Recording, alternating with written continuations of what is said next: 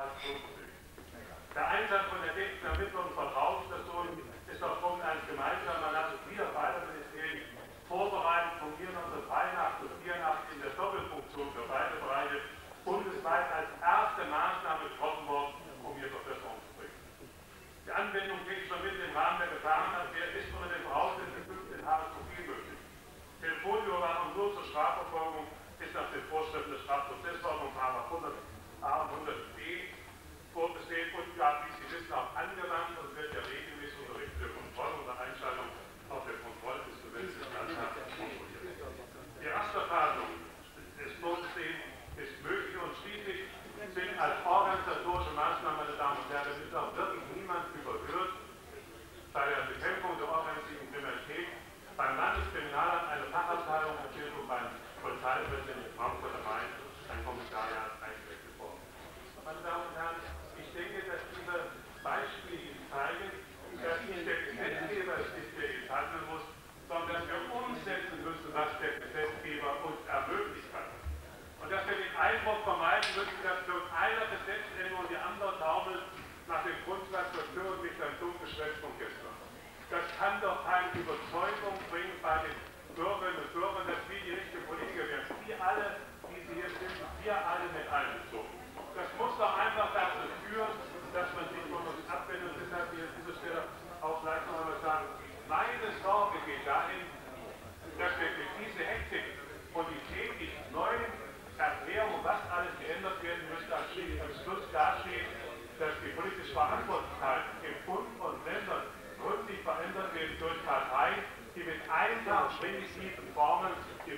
Спасибо.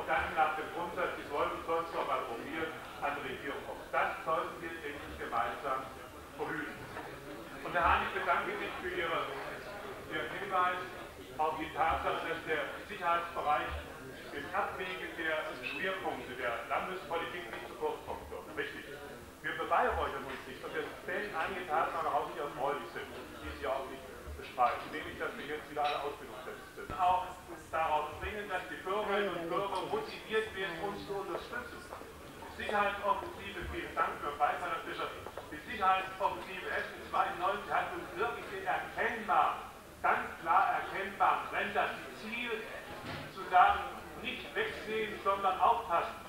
Das heißt also, uns unterstützen, dort, wo Kriminalität auch die Menschen auch durch Zeugenschutz Végigmentél már? Istenite, fantasztikus. Olyan hatású, nagyon jól tettétek össze őket. Hát azért külön fizettünk egy embert. Mit csinál? Lengyel Károly, ő rendez ilyen dolgokat, hogy négy és fél ezer alkotást kiválogat, és három ezerből csinálnak kiállítást. Nagyon jól dolgozott, de rengeteget dolgoztunk. haben Anlass dazu zu appellieren, uns zu unterstützen, nachdem der Staat eine Menge von Veränderungen auch in den letzten Jahren Is hozom a... angewandt werden können und wir uns in Hessen nun nachprüfbar bemüht haben, mit Erfolg bemüht haben, dank Ihrer Unterstützung auch hoffentlich weiter mit Erfolg bemühen werden. Unterstützung bitte auch überall vor Ort uns zu geben. Hätten Sie seit Jahren dafür sorgen können, dass gerade im Bereich der Kriminalität, insbesondere der außergewöhnlichen Milliarden im Drogengeschäft, dass da dieses Instrument so zugestellt worden wäre. Meine Damen und Herren, der Gesamtumsatz im Bereich der Betäubungsmittel, Klammer auf, Drogenklammer, ist weltweit höher als der Gesamtumsatz der Erdölindustrie.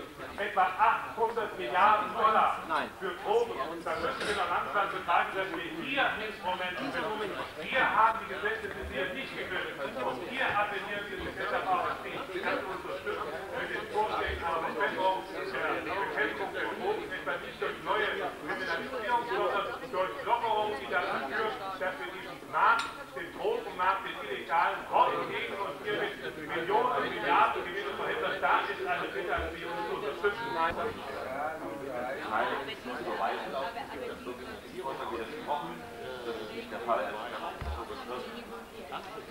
Vereinbarungsgemäß wir zum Punkt 12 der Tagesordnung. Antrag der Fraktion der CDU betreffend abgasfreies Auto. Buchstabe 13, 24, 61, eine Redezeit von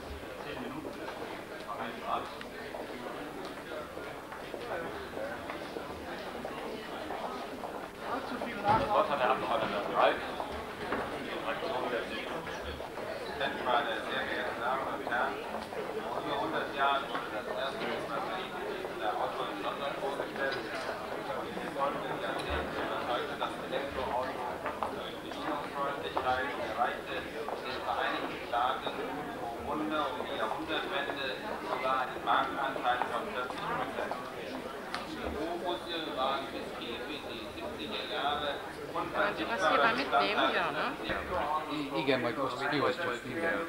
Aber auch im privaten Bereich, meine sehr verehrten Damen und Herren, liegen Einsatzgebiete für Elektroautos. Ein großer Teil der Privatfahrt und vor allem bei Zweitwagen werden überwiegend liegen im Bereich der Reichweite von 62,7 Prozent aller gefahrenen Szabó Tamás, Makó Judit, Ők még nem érkeztek Tóth, meg? nem, Tóth Ernő, Kovács Tamás Vilmos, itt jönnek, hát tizen jönnek. Úgyhogy Wilhelm Karcsi,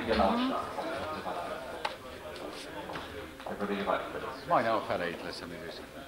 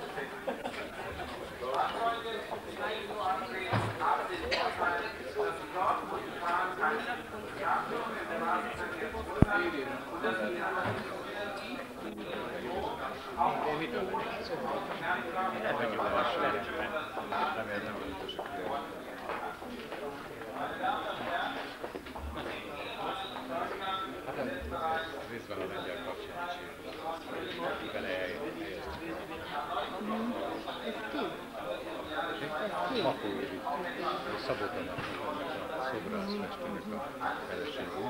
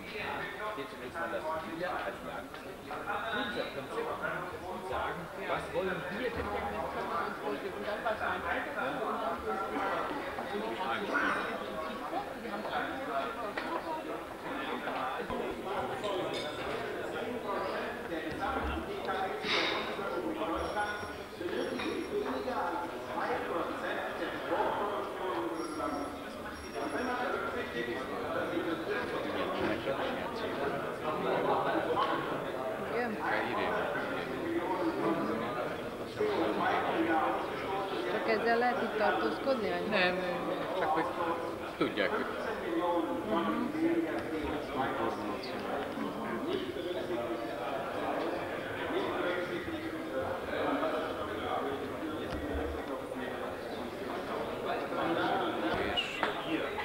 és busszal jönnek vissza.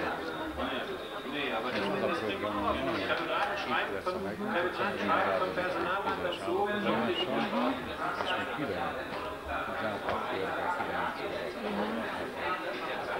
9 Elektrofahrzeug zugeschriebene CO2 und auch Methanemissionen angesprochen sind.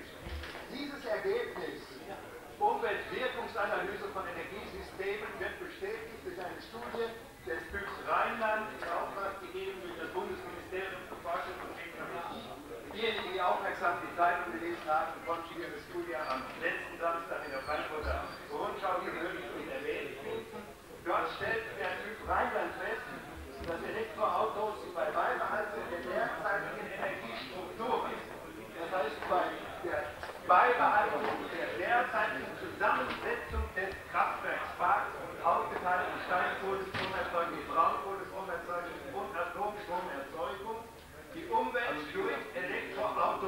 mehr belastet wird als durch Diesel- und Benzinfahrzeuge. Elektroautos sind nicht abgasfrei, im Gegenteil.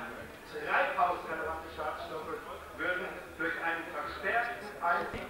Das Elektrofahrzeug ist von seiner Funktion her immer das Zweitfahrzeug. Es hat eine geringere Leistung als der Benziner oder das Dieselfahrzeug. Es hat einen geringeren Radius und auch eine leichtere Bauweise. Auch das ist durch technische Revolution der Batterietechnik inzwischen nicht überholt. Es erzeugt am Betriebsort, dass wir das Antrag doch ganz besonders gefördert sehen wollen. Das macht keinen Sinn. Ihr Antrag ist nicht stimmig. Es passt nicht zusammen. Die Einführung auch äh, die Einführung von Zweitfahrzeugen zu fördern und zu propagieren, die Landesregierung aufzufordern, dies zu propagieren und gleichzeitig die Forderung zu stellen, etwas für den öffentlichen Nahverkehr zu tun. Das ist widersinnig und deshalb verkehrspolitisch unsinnig. Besser wäre es, den öffentlichen Nahverkehr zu fördern und den Individualverkehr in den Städten durch eine kraftvolle Konkurrenz des öffentlichen Personalverkehrs zurückzudrängen. Und eine letzte Bemerkung noch zu den Möglichkeiten, die Sie der Landesregierung eröffnen durch den Einsatz von Elektrofahrzeugen. Bis zum heutigen Tag gibt es mit Elektrofahrzeugen etwa keine Tests auf Sicherheit, auf Crash. Wie wollen Sie denn verantworten, die hessische Polizei im Jahre 1997 in fünf Jahren auszurüsten mit Elektrofahrzeugen, die erstens von der Geschwindigkeit, zweitens von der Leistungskraft nicht in der Lage sind, ihre Aufgaben zu erfüllen und die auch im Jahre 1997 einem Crashtest niemals standhalten werden, selbst bei unterstellter Fortentwicklung dieser Technologie. Ihr Antrag ist deshalb nicht revolutionär, nicht neu, kalter, überholter Kaffee.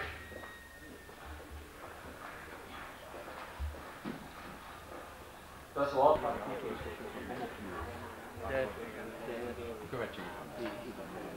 Így, így egyszerű. Egyszerű. Mindenben. És hát a kultúra ugyanígy szerelmes, mint sokan más. Hát igen. És hát azt Nincsen jó kultúrciklusban. Azt hiszem, hogy minden követségi Hát, jó lenne. Hogy legyek egy kicsit szkeptikus. Követségek azt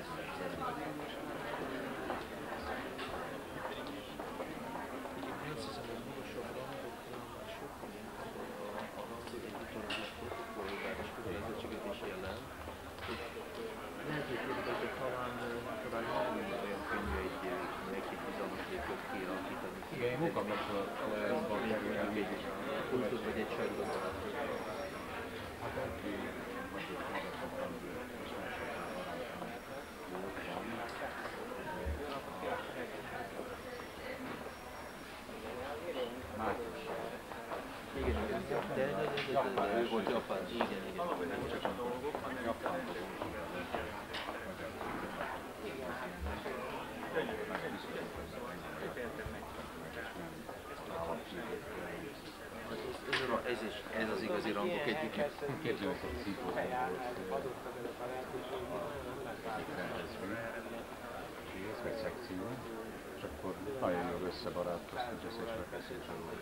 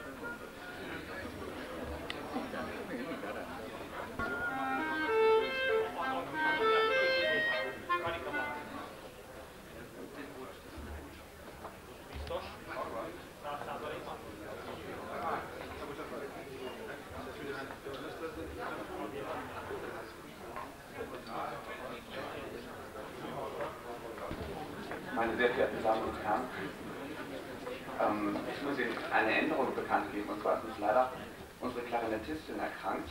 Und aus diesem Grund können wir äh, den Bach leider nicht spielen, der im Programm ausgedruckt ist. Wir spielen deshalb auch zu Anfang drei Sätze aus den Divertimenti von Mozart, und zwar die Sätze Allegro, Adagio und Rondo.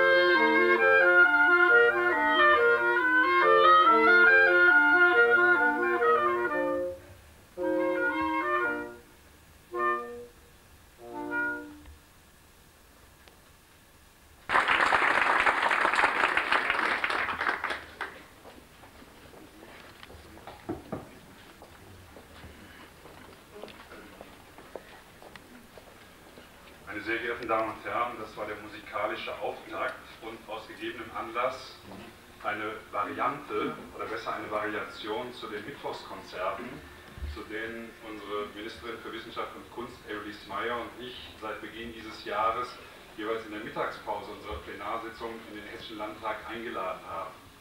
Liebe Evelise, der Zuspruch heute Abend hat sicher nicht nur mit dem musikalischen Auftakt und dem Abschluss zu tun, aber die Zahl der Gäste sollte uns veranlassen, darüber nachzudenken, ob die Mittagspause der richtige Zeitpunkt für die Konzerte, die wir auf jeden Fall fortsetzen werden. Vielen Dank, Herr Staatsminister Dr. Günther, für diesen Beifall. Ich möchte Ihnen sagen, wer musiziert hat. Klarinette hat Christian Seibold gespielt, Michael Hansche hat Fagott gespielt und Susanne Kronen die Oboe. Herzlichen Dank für diesen schönen.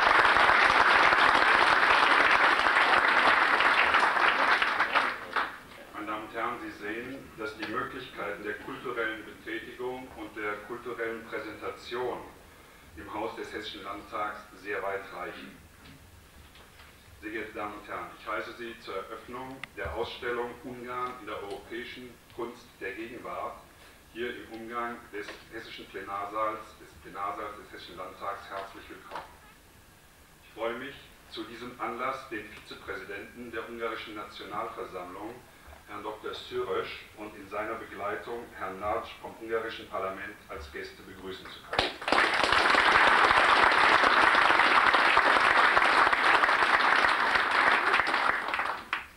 Kedves Szűrös kolléga úr, szívesen köszönteném Önt és a többi magyar vendéget az Önök nyelvén. De sajnálom, németül kell beszélnem. Nem csak azért, mert azokat a vendégeket is köszöntenem kell, akik nem beszélnek magyarul, hanem azért is, mert sajnálom, nem beszélek magyarul. Ich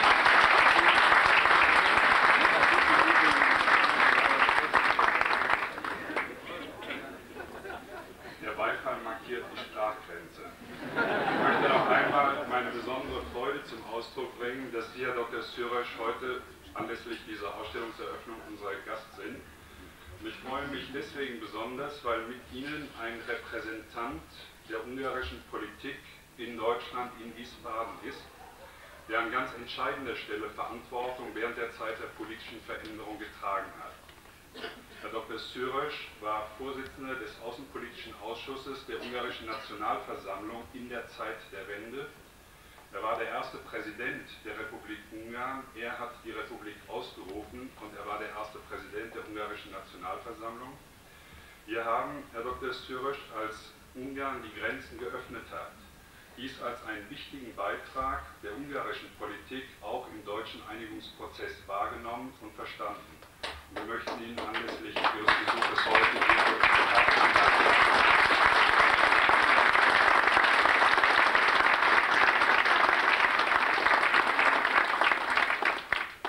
Ich begrüße sehr herzlich Herrn Botschaftsrat Horvath als Vertreter der ungarischen Botschaft in Bonn. Und ich begrüße von der deutschen Seite fast das vollzählige Kabinett mit Herrn Ministerpräsident Eichel an der Spitze, dem stellvertretenden Ministerpräsidenten Joschka Fischer. Ich begrüße die Damen und Herren Vizepräsidentinnen und Vizepräsidenten des Hessischen Landtages und zahlreiche Kolleginnen, die heute Abend mit uns diese Ausstellung eröffnen wollen. Ganz besonders herzlich begrüße ich die anwesenden Künstlerinnen und Künstler der hier ausgestellten Werke und den Kunsthistoriker Herrn Riedeck, der sachverständig Auskunft zu den einzelnen Exponaten geben kann und wird. Ein besonderer Dank gilt den beiden Initiatorinnen dieser Ausstellung, die uns diesen Einblick in die zeitgenössische Kunst Ungarns ermöglicht haben, nämlich Frau Irene Veronika Karl vom Institut für Kunst und Kultur Isolda International sowie unserer Kollegin Veronika Winterstein, die diese Anregung aufgegriffen und zur Umsetzung gebracht hat. Herzlich willkommen und vielen Dank. Meine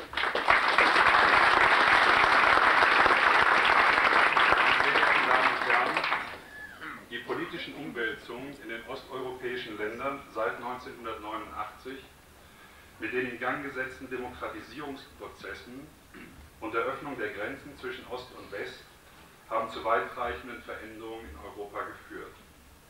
Meist stehen dabei die politischen und wirtschaftlichen Verhältnisse im Vordergrund. Das gilt, eine von staatlicher Reglementierung freiere Wirtschaft und eine demokratische Gesellschaft aufzubauen. Um diese Aufgabe zu bewältigen, bedarf es großer Anstrengungen und es wird sicher eine gewisse Zeit dauern, bis deren Erfolge sichtbar werden. Der gesellschaftliche Wandel vollzieht sich aber auch und gerade auf dem Gebiet der Kunst und der Kultur. In Ungarn, das auch schon vor dem Scheitern des Kommunismus in Osteuropa eine Vorreiterrolle gespielt hat, konnte sich früher als etwa in der Tschechoslowakei oder in Polen eine eigenständige Kunst entwickeln, die heute vor allem durch ihre Vielfalt gekennzeichnet ist. Und ein Teil dieses breiten Spektrums der ungarischen bildenden Kunst ist hier mit Exponaten vertreten. Wir können dies ansehen. Die Ausstellung über zeitgenössische Kunst in Ungarn bildet daher zu Recht, wie ich finde, den Auftakt einer geplanten Reihe von Veranstaltungen hier im Umgang des Plenarsaals, die der Ausstellung von Werken moderner Künstlerinnen und Künstler aus osteuropäischen Nachbarstaaten gewidmet sein sollen. Wir möchten auf diese Weise dazu beitragen, nach der Überwindung der politischen Grenzen die verschiedenen ost- und westeuropäischen Kulturen miteinander in Kontakt zu bringen und die gegenseitige Verständigung zu fördern. Es geht darum, sowohl die Individualität des künstlerischen Wirkens in den jeweiligen osteuropäischen Staaten als auch deren Einbettung in die gesamteuropäische Kultur aufzuzeigen. Die heutige Ausstellung gibt einen eindrucksvollen Einblick in die Gegenwartskunst Ungarns. Die Bedingungen für die Künstler haben sich, was die Freiheit der Gestaltung betrifft, erheblich verbessert. Sie sind aber in finanzieller Hinsicht aufgrund der angespannten wirtschaftlichen Situation, wie wir wissen, ungleich schwieriger geworden. Ein Markt für die hergestellten Werke muss sich erst noch herausbilden. Und für das weitere Wirken der ausstellenden Künstlerinnen und Künstler ist es deshalb von großer Bedeutung, ihre Werke einem breiteren Publikum bekannt zu machen.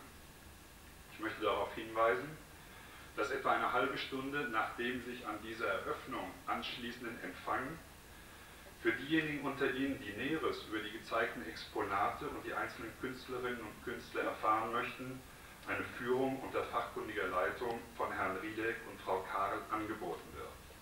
Und ich möchte darauf hinweisen, weil Frau Karl mich darauf hingewiesen hat, dass einige Gäste der Einladung vielleicht gefolgt sind, um auf diese Weise einmal das Stadtschloss von Wiesbaden von innen sehen und erleben zu können, dass wir, wenn Sie genug von der ungarischen Kunst gesehen haben, Ihnen gerne auch noch im Rahmen einer Führung das Stadtschloss der Herzöge von Nassau, den Sitz des Hessischen Landtages, zeigen werden.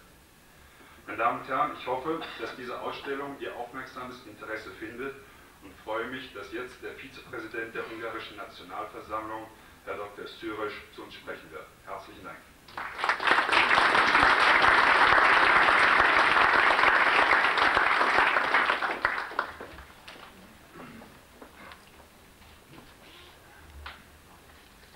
Sehr geehrter Herr Präsident, Herr Ministerpräsident, meine Damen und Herren, die Aufstellung, die wir heute eröffnen, und die Ungarn in der zeitgenössischen europäischen Kunst repräsentieren soll, dient in mehrfacher Hinsicht zu unserer Zufriedenheit. Die Veranstaltung fügt sich organisch in den Prozess der auf eine lange historische Vergangenheit zurückblickenden ungarisch-deutschen kulturellen Zusammenarbeit über die Wahrung der Kontinuität hinaus lässt sie aber auch für die Entstehung neuer Traditionen breiten Raum. Der Umstand, dass diese äh, Präsentation hier im Land Hessen Wiesbaden stattfindet, bedeutet eine neue Dimension im vielfältigen kulturellen Umgang zwischen unseren Ländern. Es erfüllt uns mit Freude, dass Deutschland für Kulturwerte unseres Landes ernsthaftes Interesse zeigt und wir sind zuversichtlich, dass die Erfahrungen dieser Ausstellung unsere Zusammenarbeit in diesem Bereich weiter stärken werden. Für uns, Ungarn, ist es wichtig, immer wieder beweisen zu können, Die Existenz als kleines Land ist kein Hindernis für die geistige Wertschöpfung. Die relative Rückständigkeit in wirtschaftlicher Hinsicht bedeutet keineswegs kulturelle Randständigkeit. Die wichtigste Garantie liefern uns dafür der vielseitige kulturelle Umgang und die kulturellen und wissenschaftlichen Kontakte zu den Ländern Europas, die sich heute immer mehr institutionalisieren. Für die kulturelle und geistige Orientierung war in Ungarn, Westeuropa und insbesondere Deutschland schon immer von bestimmender Bedeutung. Die Erkenntnis und die Aufnahme der europäischen Werte wirkte sich auf die Entwicklung unserer nationalen Kultur immer befruchtend aus. Aus der fernen und nahen historischen Vergangenheit des Landes lassen sich zahlreiche Beispiele anführen, wie erfrischend die neuen europäischen Ideen auf unsere Reformbestrebungen wirken, deren Ziel es war, die Rückstände in der Modernisierung abzubauen um die Aufholung des Landes voranzubringen. Dass dieser Prozess nicht nur in die eine Richtung geht, dafür wünscht diese jetzige Ausstellung einen Beweis zu liefern. Mit den ausgestellten Kunstwerken soll gezeigt werden, dass die ungarische zeitgenössische bildende Kunst über ihre eigenartige ungarische Prägung hinaus zweifelsohne auch einen europäischen Horizont hat. Meine Damen und Herren, in den vergangenen Jahrzehnten war unser Kontinent nicht nur durch die Identitätssuche der einzelnen Länder gekennzeichnet, sondern auch dadurch, dass der Wunsch nach der europäischen Idee, nach dem Finden der europäischen Einheit immer markant, markanter artikuliert wurde. Trotz der Hürden der mehrfachen Spaltung begannen sich für die 90er Jahre immer mehr die Konturen des zusammenwachsenden Europas abzuzeichnen. Das gemeinsame Werte und eine eigenartige Identität verkörpert und gleichzeitig auch die sich voneinander unterscheidenden, selbstständige Farbflecke darstellenden nationalen Entitäten in sich schließt.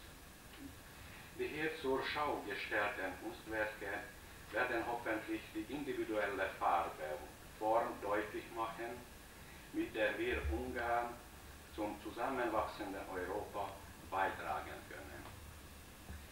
Es ist nicht meine Aufgabe, natürlich diese Ausstellung aus fachlicher Sicht zu bewerten.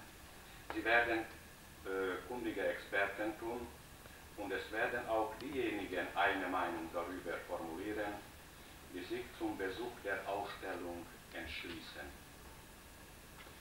Ich bin zuversichtlich, zuversichtlich, dass die Aufgeschlossenheit für die Werke, das Verständnis der Eigenarten der künstlerischen Lösungen sowie der äh, empathische Anspruch auf die Aussage hinter der wirklichen Ausdrucksweisen allen Besuchern ein intellektuelles Erlebnis ermöglichen und ihnen die Welt näher bringen werden, die sich selbst noch in der jüngsten Vergangenheit nur in einer eigenartigen politischen Refraktion dem Einfluss einer Großmacht ausgeliefert zeigen konnte. Zum Glück hat sich die Welt zum Besseren verändert. Im Ergebnis der politischen Erdrutsche der letzten zwei, drei Jahre, Jahre konnten sich die Staaten der mittel- und osteuropäischen Region vom imperialen Druck befreien. Die aufgestellte ethnische Renaissance ist nach der Erlangung der Souveränität hier und da in nationalistischer Willkür über, äh, übergeschlagen, die bereits die demokratische Umgestaltung.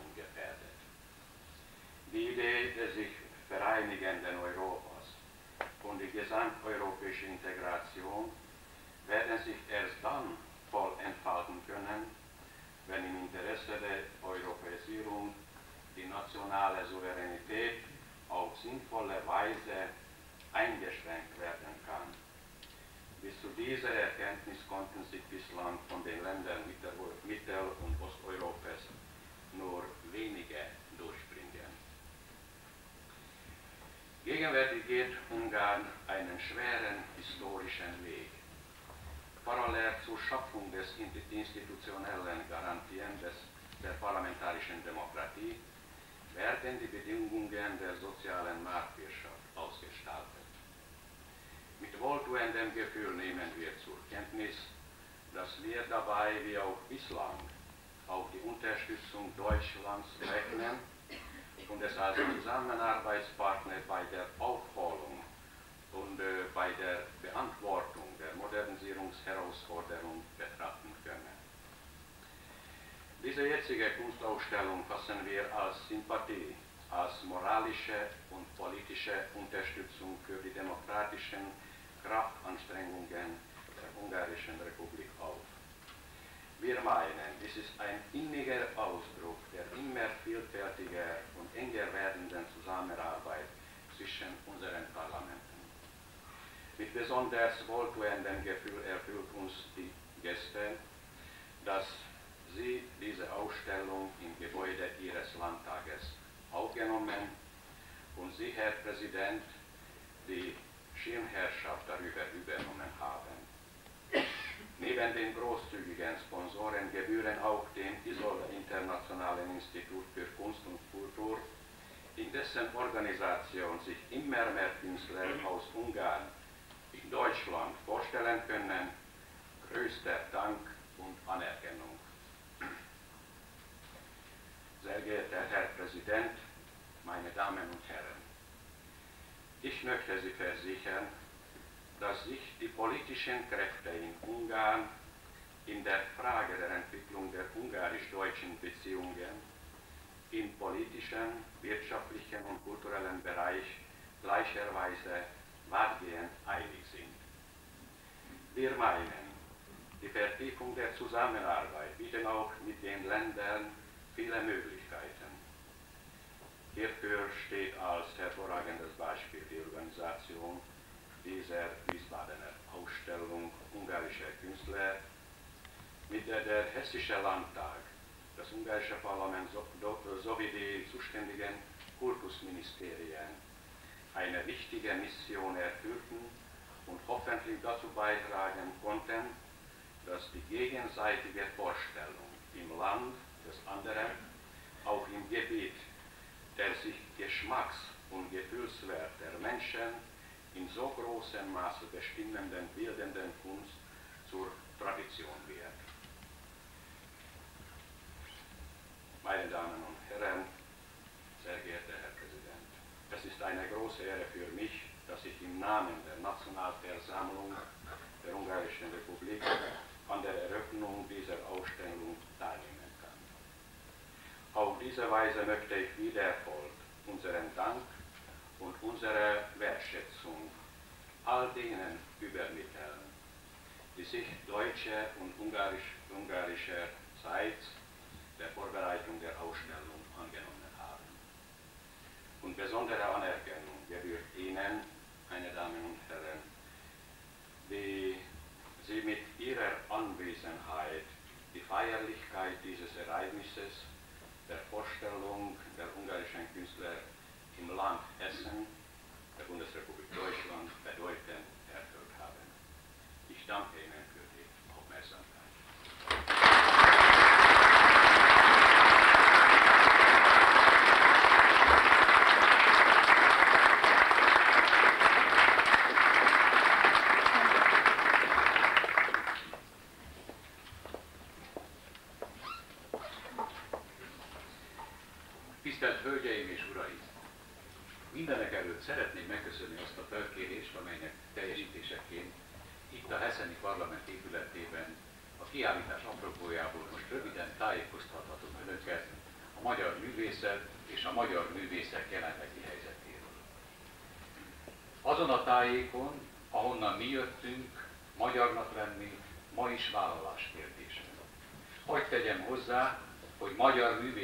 lenni sem csupán foglalkozás, netán hivatás, hanem úgy szintén vállalásról van. A vállalás pedig mindenképpen erős erkölcsi elkötelezettséget jelent, alkotói moralitást. Ez a morális elkötelezettség volt az elmúlt 50 évben a magyar művészet fennmaradásának záloga, és lehet folytatása a folytatás biztosítéka. Az elmúlt néhány év társadalmi változásai a művészettől kölcsönzött meghatározással katartikus folyamatai tele voltak és tele vannak gyötrelmes mozzanatokkal.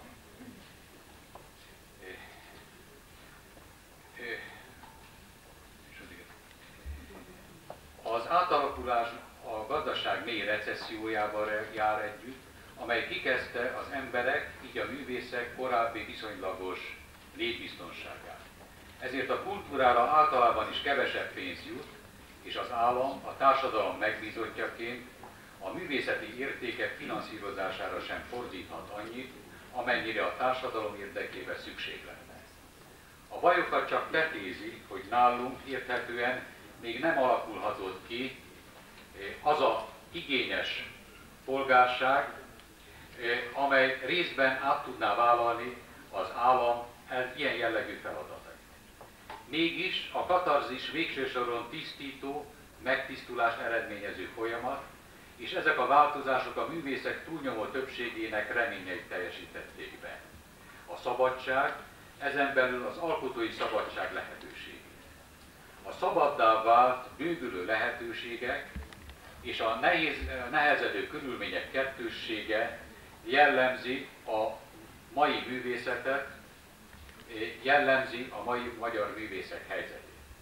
A belső szabadság kiteljesedése mellett a határok spiritualizálódása, a politikai ellentétek oldódása következtében a magyar művészek attól a tehertől is megszabadultak, amelyet az elszigeteltség hosszú éveiben európai ságok bizonyításának kényszere, az európai eszme ébren tartásának kötelezettsége jelentett. Most, hogy Európához tartozású újra természetes tényé vált, most újra jobban hasonlíthatunk önmagunkra is, tudva, hogy ezzel szolgálhatjuk leginkább közös európai kultúránkat. Hölgyeim és uraim, az önök megtisztelő figyelme a magyar művészet iránt a kiállító művészek számára nagyon sokat jelent. Remélem ez az érdeklődés, az itt szerzett benyomások, művészeti élmények önöket is gazdagítják.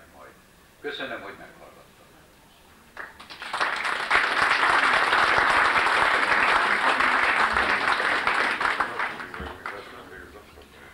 geehrte Damen und Herren, es ist eine große Ehre für mich, als Ungarn im Hessischen Landtag zu Ihnen sprechen zu können und ich möchte mich dafür herzlich bedanken. Ich möchte Ihnen anlässlich dieser Vernissage kurz etwas über die gegenwärtige ungarische Kunst, ihr Umfeld und ihre Künstler in Ungarn vermitteln. In unserem Land ist es eine Berufung, Ungarn zu sein. Heute noch stärker als je zuvor. Vor allem für die Künstler ist eine besondere Aufgabe, diese Berufung durch ihr künstlerisches Schaffen gerecht zu werden. Diese spezielle Forderung bedarf einer großen moralischen Verpflichtung und Ehrlichkeit, die die Grundlage für das Leben auch in den vergangenen 50 Jahren sowie den Neubeginn darstellten und die Kontinuität der ungarischen Kunst sicherten. In den vergangenen Jahren fand in Ungarn eine gesellschaftliche Umwälzung statt. Diese veränderte Situation kann am besten mit dem der Kunst entliehenen Wort Katharsis beschrieben werden. Jeder Umbruch, auch derjenige in Ungarn, bringt schmerzliche Momente und massive äh, wirtschaftliche Veränderungen mit sich. Der Staat kann in dieser veränderten Situation die Kulturförderung nicht wie zuvor aufrechterhalten, was die bisher relativ gesicherte und geregelte Existenz der Künstler in Frage stellt. Private Aktivitäten können die Förderung der Kunst noch nicht vollständig aufdecken. Die historischen Umwandlungen Ungarns haben einerseits die totale künstlerische Schaffensfreiheit mit sich gebracht, andererseits wirtschaftliche Lage der Künstler erschwert. Diese Zwiespalt prägt die heutige ungarische Kunst und Kultur. Die Künstler haben mit der Freiheit die Möglichkeiten erhalten, sich nun über geistige und geografische Grenzen hinwegzusetzen, wieder sie selbst zu sein und sich mit vollem Bewusstsein in die europäische Kunst einbringen. Meine sehr verehrten Damen und Herren, Ihre Achtung und Ihr Interesse an der ungarischen Kunst sind für die Ausstellung der Künstler von großer Bedeutung, auch für die Fortführung ihres Schaffens. Ich hoffe, dass diese Ausstellung bei Ihnen bleibende Eindrücke hinterlassen wird. Danke für die